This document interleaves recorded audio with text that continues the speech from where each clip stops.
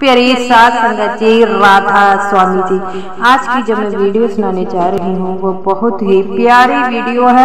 Video अच्छी लगती है तो वीडियो को लाइक कीजिए और चैनल को सब्सक्राइब करना मत भूलिए, ताकि मेरी आने वाली वीडियो आप तक पहले पहुँच सके। एक बार लुधियाना स्टेशन से पहले एक रेलगाड़ी का एक्सीडेंट हो गया तो बाबा जी ने सेक्रेटरी वो लुधियाना के थे, उन्हें फ़ोन कर कर फ़ोन किया और कहने लगे कि आप देखिए, कोई भी यात्री ब्यास का तो नहीं था। सेक्रेटरी साहब ने ऐसा ही किया, वह स्टेशन गए और वहाँ से पूछताछ करने लगे। पर वहाँ से उन्हें पता लगा, कोई भी यात्री ब्यास का नहीं। है तो बाबा जी ने फिर दोबारा फ़ोन किया और उनसे कहने लगे कि भाई, तुम गए थे पता करने तो वहाँ पर कोई यात्री ब्यास का था। सेक्रेटरी साहब कहने लगे, बाबा जी, मैं वहाँ पर गया था, पर मुझे कोई भी जो यात्री ब्यास का नहीं था। तो बाबा जी कहने लगे, तुम दोबारा जाना और वहाँ पर पता करना।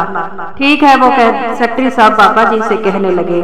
सेक्रेटरी साहब वहाँ पर दोबारा गए पर उन्हें पता चला कि ब्यास का कोई भी यात्री नहीं था।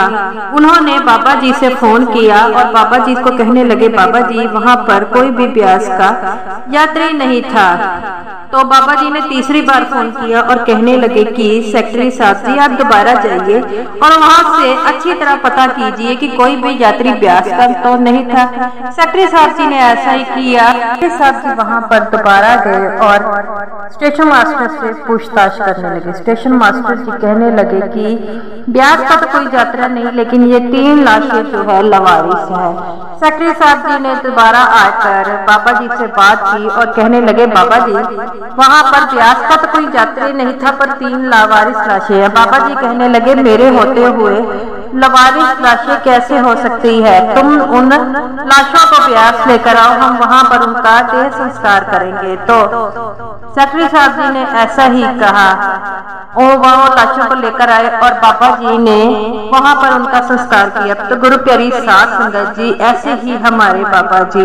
जीते जी तो हमारी रक्षा करते हैं और मौत के बाद भी हमारा पूरी तरह ध्यान रखते हैं। तो अपने गुरु पर जो है विश्वास रखिए और भजन सिमरन ज़रूर कीजिए। तो ये रही मेरी आज की वीडियो। वीडियो अच्छी लगी हो लाइक कीजिए और सभी सात संगत जी को मेरी तरफ़ से प्यार भरी राधा स्वामी जी।